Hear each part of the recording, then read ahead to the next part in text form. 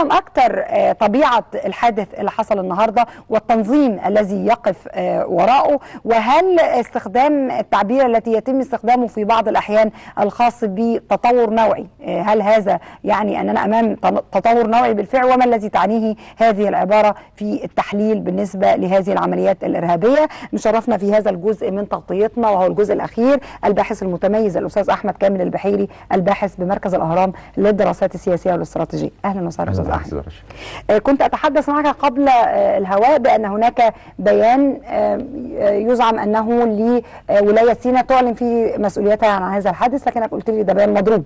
صحيح هو. طبعا ده مش معناه إن التنظيم بيت المقدس ولاية سيناء ما يكونش متورط في هذه العملية بالرغم ان إن هو الأقرب للقيام بهذه العملية لكن ما خرج من من نص بيان مزمع مضمون البيان بتحليل مضمونه هو ليست لغة آه، المتبعة في كتابة البيانات الخاصة بتنظيم بيت المقدس. آه، سواء من حيث المضمون سواء من حيث غرفة العمليات ال- البيان رقم 37 من حيث أنه يوضع امضاء آه، باسم أحد العناصر على على البيان لذلك أعتقد إن البيان لم يخرج بشكل رسمي من قبل التنظيم تنظيم. آه تنظيم. بيت المقدس مم. وهذا لا يعني إن التنظيم مش متورط. لكن هو لم يصدر حتى هذه اللحظة بيانا المؤشرات بتقول آه. أنه هكذا يبدو أنه هذا التنظيم صحيح. مم. ان يعني أغلب التح... تنظيم بيت المقدس اللي أعلن ولاءه لداعش. اللي هو آه ما يطلق عليه آه تنظيم ولاية سيناء آه وبرغم ان أنا ما بحبش استخدم هذا المصطلح. طبعا، عندك حق. آه في في في كولاية سيناء آه ب- ب- ببقى لأنهم. أرادوا الاسم ده عشان نردده كثيرا في الإعلام. صحيح هو له يجب الا نقع في هذا الخطا وله مدلول على ما يسمى بإقامة الدولة والخلافة. صح. إن عندما أتحدث عن خلافة إسلامية في سوريا والعراق أو مقرها آه في العراق نتحدث عن ولايات. آه تابعة للدولة جزء من هذه الولايات سواء كانت دولة كبرى زي الدولة المصرية أو ولاية سيناء ولاية الصعيد آه الولاية في طبرق الولاية في دارنا يعني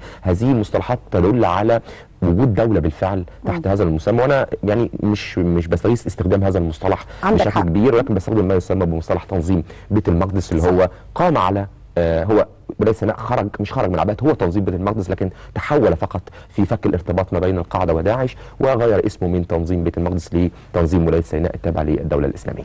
آه، سمت حالة من العداء كانت قد ظهرت آه، في ثنائية واضحة ما بين داعش والصوفية منذ فترة. صحيح.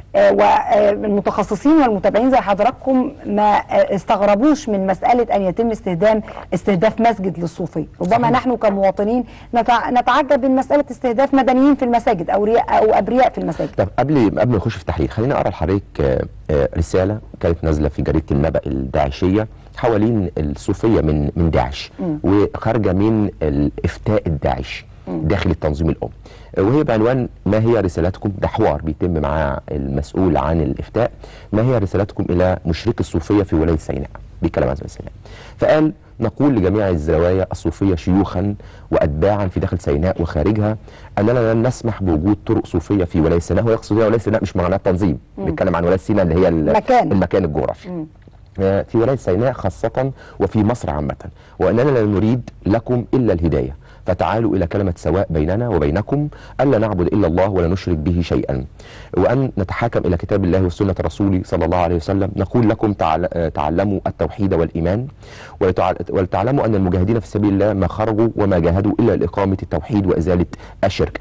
كلام طويل لكن خلينا نقول آخر حاجة وآخر ما نختتم به كلامنا هو أن نحمد الله على ما رزقنا به من نعمة التوحيد والجهاد وأنه أهل الحمد سبحانه وتعالى وأن طريق أصحابه والتابعين من بعدي فكل خير في أتباع سلفي ويصف هنا هو الصوفيين بالكفر والإشراك فهذه رسالة كانت خرجت في جريدة النبأ تضع الحد الفاصل في فقه داعش أن الصوفية آه، هي واحدة من أتباع آه، الكفر لأن ربطها عند الفكر الداعشي هو مربوط بالشيعة. طيب الشيعة بتمثل إيه داعش كان هناك خلاف قام ما بين القاعدة وداعش حوالين ما يسمى بالعدو القريب والعدو البعيد. نعم.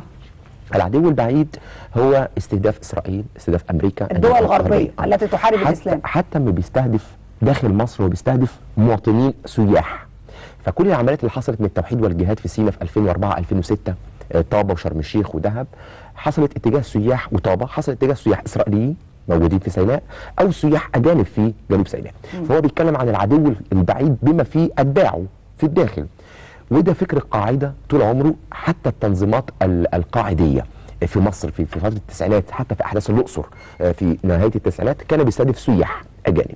حصل تحول عند فكره داعشين ان أو تنظيم آه، بدأ ببلاد الرافدين أبو مصعب الزرقاوي اللي تحول بعد ذلك إلى تنظيم داعش أو آه، الدولة الإسلامية. هو القتال الواجب علينا هو العدو القريب، العدو القريب هنا يقصد به ال- المسلمين الشيعة، المسلمين الصوفيين، آه، المسيحيين، النظام الحاكم داخل الدولة وليس البعيد. طيب واحد ممكن يتكلم طب لماذا تستهدف داعش أوروبا الآن؟ ما هو ده عدو بعيد. حصل تحول خلال العام الأخير آه، وخاصة مع تراجع تنظيم داعش آه، آه، إلى حد ما مع بدء الضربات لما يمكن أن أنا أطلق عليه آه، الفكر داعشية الفعل يعني؟ التنظيمات الآن أصبحت تقترب إلى حد ما من قاعدية الفكر. إن داعش لم يصل إلى تأصيل نظري حقيقي في أدبياته الفقهية بخلاف القاعدة. القاعدة عندها تأصيل نظري حقيقي. لذلك كتير جدا من التنظيمات الآن وده كان شاهد عليه حادثة الوحاد إن بدأت تحصل تقارب ما بيحدث لتنظيمات داعشية إلى تنظيمات قاعدية.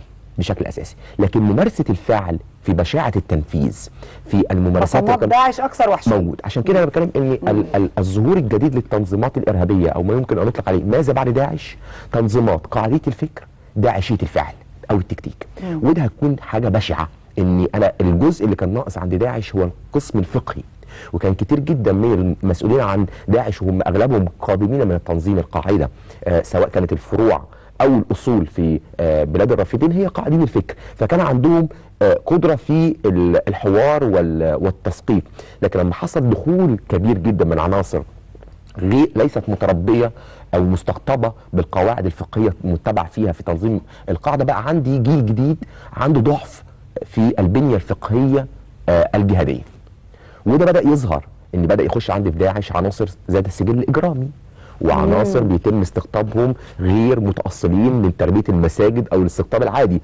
عناصر آه تم استقطابهم عن طريق الثأر ان حالة المظلوميه أو الثأر أو حالة الاستقطاب على أسس عرقية وطائفية كما حدث وده اللي. لعبت عليه داعش في أوروبا مثلا صحيح، في. تجنيد آه. فكتير لما تيجي تلاقي من ال- اللي قاموا بالعمليات الإرهابية في أوروبا لو شفتي جذورهم ال- ال- المتطرفة أو الفقهية دي في ناس عندها سجل إجرامي أصلا. وناس لم تتمكن من الوصول إلى الفقه. ده هي لسه ما كملش كام شهر أصلا انتمائهم آه، حتى لو عن طريق ال social media إلى تنظيم داعش. فبدأ يبقى التنظيم يلجأ إلى توسيع نشاطه باستقطاب أكبر عدد ممكن بغض النظر عن كفاءة العنصر فقهيا أو تربية إسلامية من عدمه. ده هيعمل حالة ان محتاج هذا التنظيم إنه يعيد تأصيل نفسه. مرة أخرى خاصة مع الانهيار. دي نقطة خطيرة جدا. لأن داعش هتعالج ال- الضعف اللي كانت عندها في إن هي تقنع عناصرها في فكرة الموت والقتل البشع صحيح. وعشان كده آه، ال- ال- ال- ال- ال- الفرق بين اسلوب داعش واسلوب القاعده بغض النظر عن العدو البعيد والعدو القريب هو أيضا في فظاعة الفعل يعني القاعدة في بعض ال- الحاجات الفكاهية نحن نتحدث عن الإرهاب الوسطي الجميل الإرهاب الناعم الإرهاب الناعم آه مقارنة ب وحشية داعش. ال- ال- ال- ال- العمليات الإرهابية اللي بتقوم منها آه، داعش. طيب خلينا عشان ما- نتشتتش كتير في تفاصيل آه، ال- اللي حصل ال- اليوم هو شيء متوقع. مش متوقع حدوثه لكن مش أول مرة يتم استهداف صوفيين. نعم. آه آه تم تفجير ضريح صوفي في وسط سيناء من آه من حوالي 8 أشهر الإعلام ما ركزش عليه كتير. في وسط سيناء ضريح ضريح صوفي خلاص تم استهداف الشيخ سليمان طبعاً في حق. الشهير لداعش. طبعا نعم. آه في فيديو شهير فهنا ده يعني مدار لي قبل أيام كانوا قد وجهوا إنذارا صحيح على آه خلال ال- من ثلاث أيام على بعض ال ال ال social media أو خاصة تويتر وتليجرام. آه، في هناك ال- الأخبار عن تنظيم بيبقى أكثر من من من, من الإنترنت العام أو من وكالات الأنباء. من من ثلاث أيام كان في حاجة اسمها حضرة في آه، آه، قرية الروضة. وحصل نوع من أنواع نزول لأعضاء من التنظيم لتهديد آه، القائمين على الحضرة وتوعدهم بعدم قيام هذا النشاط. إحنا داخلين على مولد النبي والطرق الصوفية وهي ال- الحضرة كانت معمولة هي من واحدة من الطرق ال- ال- الجريرية الأحمدية. هي أحد الطرق ال- الصوفية اللي موجودة في آه، شمال سيناء وهي متجذرة في شمال سيناء. والأسبوع ده هو أسبوع الفعل أو النشاط الصوفي بمناسبة قرب مولد النبي. فمن ثلاث أيام حصل نوع من أنواع توجيه رسالة إلى آه، آه، أحد الفعاليات الصوفية اللي كانت موجودة لكن المسجد النهارده هو- بالرغم إن هو مسجد ممكن نقول إن هو تابع لطرق الصوفية لكن المصلين مش صوفيين بس عشان خالص واقعيين. صحيح ده مسجد على الطريق آه، الدولي صحيح. وبالتالي وفي ناس بتقف تصلي منه آه، آه. وفي ناس آه، سنة يعني مش صوفيين هو حتى الصوفيين من وجهة نظر سنة لكن مش صوفيين موجودين بيصلوا ال ال ال أنا أعتقد العملية اليوم ما كانش مقصود بيها صوفيين هو العنوان صوفيين وهيخرج البيان إن هم صوفيين كفره عشان يحط حجة لل- للفعل الإجرامي. أنا أعتقد